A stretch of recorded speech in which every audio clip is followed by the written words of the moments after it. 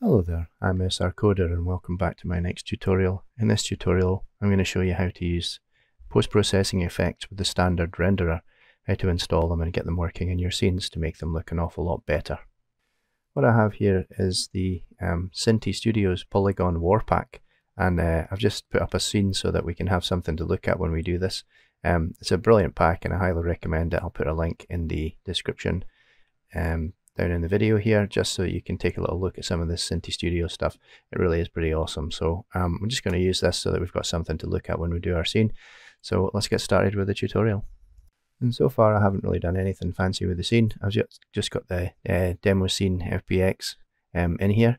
Uh, the directional light is just a standard directional light. I've set the mode to real time so I'm not even using baked lighting and I've made sure that the shadow strength uh, is down to about 0.5. If you put it up, just the shadows look so dark that it doesn't look very realistic. So I usually just drop that down to 0.5 so that you get subtle shadows rather than those sharp um, dark areas. Uh, the scene has been saved and we're just going to go up to the package manager and just import the package that we need. So if you just go up to window and package manager, this takes a few seconds to load and when it does you'll see inside the Unity registry should be the post-processing pack that we're looking for. The post-processing pack if you just go down till you find it, um, there it is here. So this is the post-processing pack that you need for the standard uh, core renderer. Um, if you're using universal render pipeline or the high definition render pipeline, then these come built in by default. But I just prefer the core renderer because it's just that much simpler to work with and it's not fancy. Um, straight out of the box, it just works. So just wait for this to install and then I'll show you the next steps. So the first thing you'll want to do is you need to set up um, a layer for your post-processing stuff to go on. So um, if you just go to, um, I've got anything selected on my scene, just go up to this uh, layers where it says default right now. Use the drop down and click on add layer. And I'm just going to create a post-processing layer. Um, I'm just going to call it post-processing to keep that correct. Um, once that's done, um, we'll need to go to the main camera. Um, for the main camera needs one important item um, for this to work. It's a post-processing layer. So if you search uh, down the list till you get to rendering, you'll see all the post-processing stuff that's come up now. So the, the, this is on the camera. I'll need to place a post-processing layer on the camera. And then there's a little warning here saying no layer has been set up. And that's the reason we just did that. So we'll need to set the layer up to be post-processing so that the camera is on the post-processing layer. Everything else you can leave just by default. The next key step is that we're going to create an empty game object on the scene. Um, I'm going to call this uh, post-processing again. And this time it's going to be post-processing volume. Um, this needs one component on it. What we're going to do is go back to this rendering. We're going to add the post-processing volume to the scene. What that does is it allows us to create areas um, within the scene where certain post-processing effects uh, defined by the profile that you uh, create. So you have multiple different profiles, and I'll go over that in a second. But you can have uh, different areas where different effects happen. For example, you can add in sort of um, some blurring effect if you wanted to go underwater and you could have a specific area for underwater and you could swap in and out between them with different layers. Because we're going to have this apply across the whole scene, we're just going to create this post-processing volume to be is global and then some of the stuff goes away and we'll just leave this at 1. Um, you can leave the priority at 0 too, that just um, depends on if you've got two overlapping areas, but we'll leave this because it's a global um, area, we'll just leave that by default. The next thing is um, this profile. We need to set up all of the different post-processing effects that we want to happen within this. So we're going to create ourselves a brand new profile. And one of the kind of confusing things is that with this new profile here, it's called post post-processing volume profile. This profile actually does exist in my scene. Um, it's done uh, scene by scene.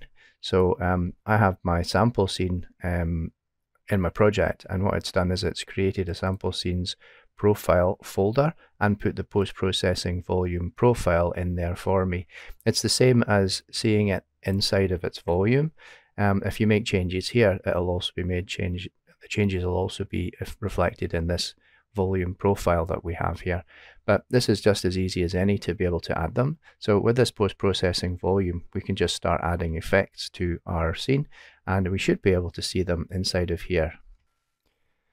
So before we add an effect, um, just make sure that uh, the this is the post-processing volume. It also needs to be on the post-processing layer. Um, so we should have the post-processing volume on this post-processing layer as well as uh, the camera should be pointing to the post-processing layer on its post-processing layer uh, component.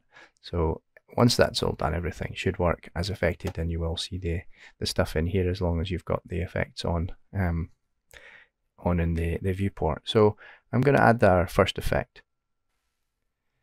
The first effect that I uh, like to add is um, from the Unity, I like to add in Bloom. Um, when you open up these, uh, these when you add these effects, sorry, they do appear in the post-processing profile. However, by default, they're never they're enabled, but the, the, values are not enabled um, by default. So you can tweak these as much as you want. Um, I'm going to add, just to check that everything's working okay, I'm just going to click on this intensity value. I'm just going to click and drag. And what we should see is we should see a sort of a glow effect. You can see it in mine and on the, um, the, uh, the sky at the background here. So if I drag it right up, it gets a bit ridiculous. But uh, if if I've done that, then I know this this effect actually works and that the post everything's been set up correctly and the post processing profile is working.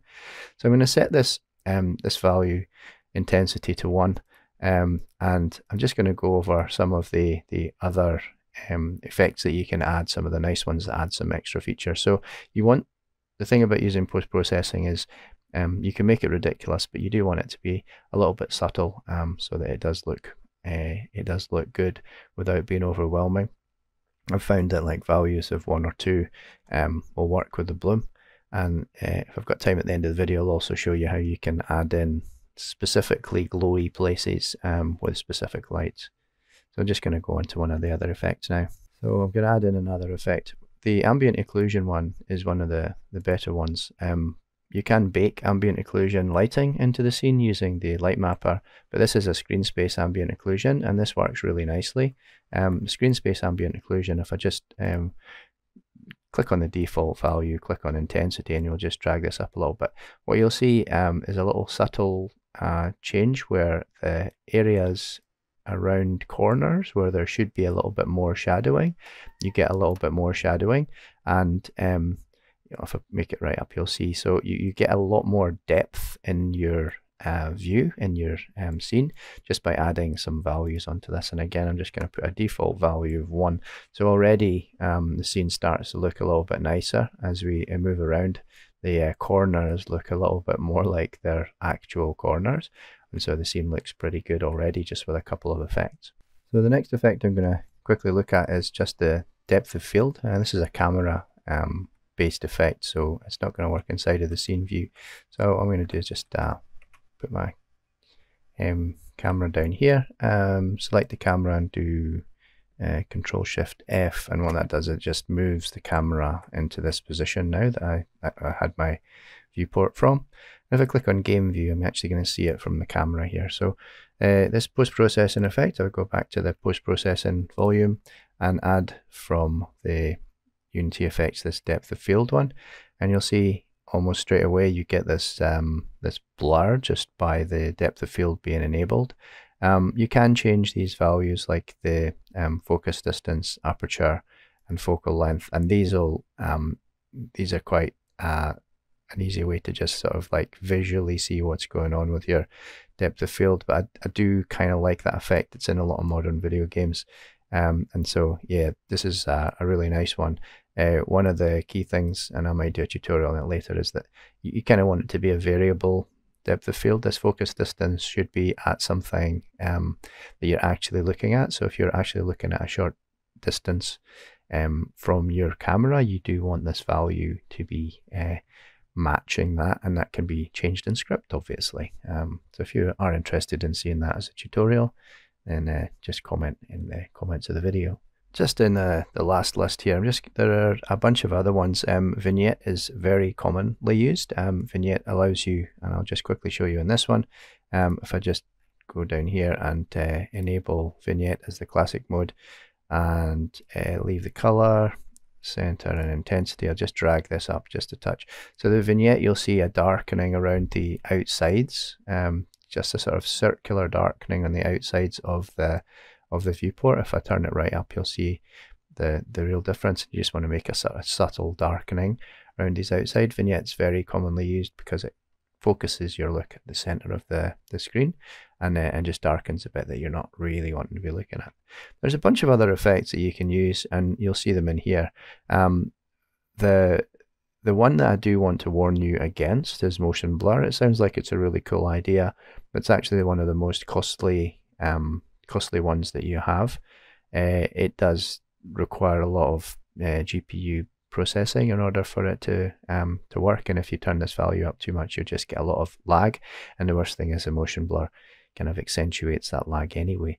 Um, a lot of people I've read is uh, one of the first things that they turn off when they have a new uh, new video game is they switch off the motion blur to improve performance. So you can put it on if you want to, but just be aware. And then you can play around with any of these other ones too.